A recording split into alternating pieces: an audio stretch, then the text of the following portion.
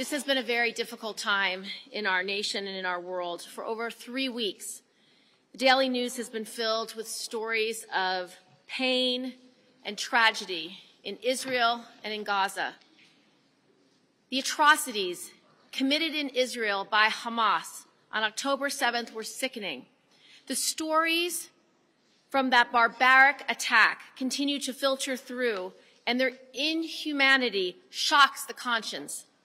It is critically important that the United States continue to stand in full support of Israel and its right to defend itself.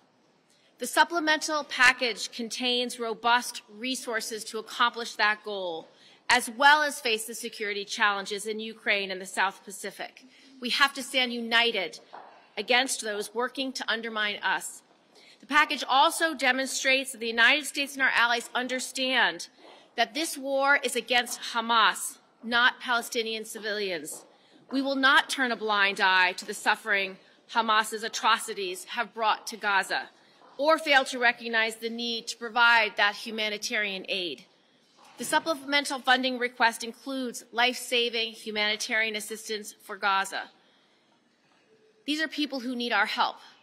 Babies, children. They have hurt no one, and they are not our enemies. They too are victims of Hamas. By swiftly passing the supplemental funding, we would be sending a message to the world that the United States stands by its principles, stands by our allies, and that we will hold Hamas accountable while protecting innocent lives. Thank you.